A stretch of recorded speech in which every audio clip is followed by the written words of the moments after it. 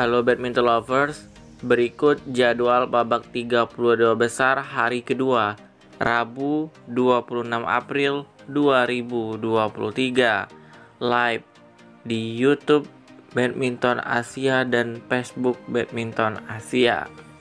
Pertandingan babak 32 besar hari ini akan dimulai pada pukul 12.00 waktu Indonesia Barat. Wakil pertama Indonesia Rino Privaldi Pitahan Intias Mentari ranking 14 dunia akan berhadapan dengan ganda campuran Sri Lanka Chamet Diaz dan Natasha Gunasakra. Ranking 497 dunia yang akan bermain pada pukul 12.00 waktu Indonesia Barat di lapangan 2 head to head adalah 0-0 kemudian dari sektor ganda putri Melisha Trias Puspitasari, Rachel Alicia Rose, ranking 48 dunia, akan berhadapan dengan ganda putri India, Aswini Bhatt dan Sika Gautama, ranking 39 dunia, yang diperkirakan akan bermain pada pukul 12.50 waktu Indonesia Barat di lapangan FAD head to head adalah 0-0. Kemudian dari sektor tunggal putri, Putri Kusuma Wardani ranking 37 dunia akan berhadapan dengan tunggal putri Chinese Taipei Sung Suo Yun ranking 36 dunia yang diperkirakan akan bermain pada pukul 13.40 waktu Indonesia Barat di lapangan 2 head to head unggul Putri KW 1-0. Berikutnya dari sektor tunggal putra, Jonathan Christie ranking 3 dunia akan berhadapan dengan Shiyuki dari Tiongkok ranking 10 dunia di mana akan bermain pada pukul 13.40 waktu Indonesia Barat di lapangan 4 head to head unggul Jojo dengan skor 6-4.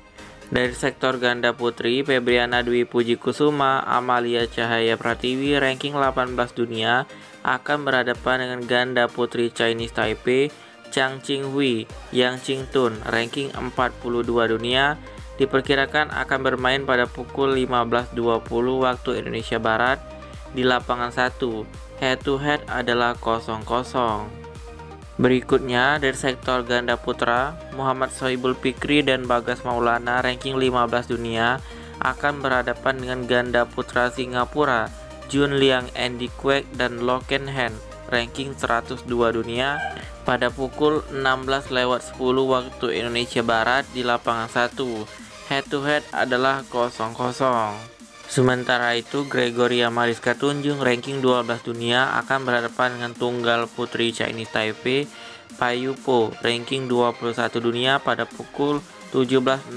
waktu Indonesia bagian Barat di lapangan 1 head to head unggul Georgie 2-1. Berikutnya Fajar Alfian Muhammad Rian Ardianto ranking 1 dunia akan berhadapan dengan ganda putra Tiongkok He Ziting Zhou Haodong ranking 12 dunia pada pukul 17.00 waktu Indonesia Barat di lapangan 4 head to head unggul Pajarian 3-1.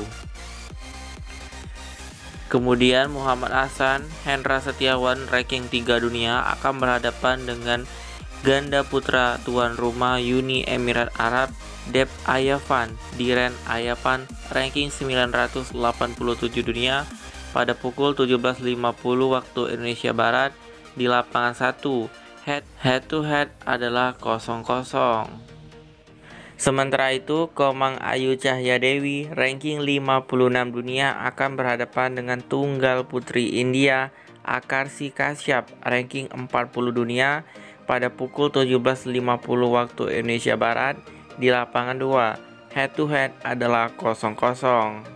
Berikutnya dari sektor ganda putri, Lani Triamaya Sari Ripka Sugiarto ranking 34 dunia akan berhadapan dengan Teresa Joli Gayatari Gopichan Pulela ranking 19 dunia pada pukul 17.50 waktu Indonesia bagian Barat di lapangan 3 head to head unggul Lani Ripka 1-0.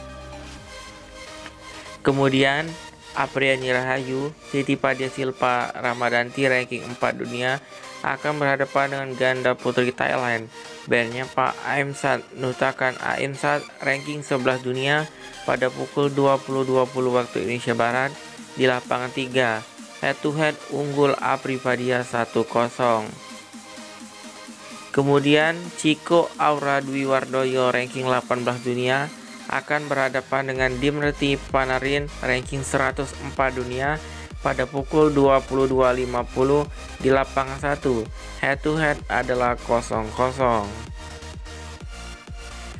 Kemudian dari ganda putra terakhir, Leo Rolly Fernando Daniel Martin, ranking 10 dunia akan berhadapan dengan ganda putra Malaysia, Aaron Chia Sowoyi, ranking 2 dunia, di mana akan bermain pada pukul 1.20 waktu Indonesia Barat dini hari di lapangan TBA head to head unggul Aaron Chia Sowoyi 4-1. Dan terakhir dari sektor tunggal putra Anthony Sinuska Ginting ranking 2 dunia akan berhadapan dengan tunggal putra Chinese Taipei Wang Sui ranking 22 dunia pada pukul 1.20 waktu Indonesia Barat dini hari di lapangan TBA head to head unggul Ginting 52. Dan itulah jadwal babak 32 besar hari kedua Rabu 26 April 2023. Sekian dan terima kasih. Wassalamualaikum warahmatullahi wabarakatuh dan sampai jumpa di video berikutnya. Bye.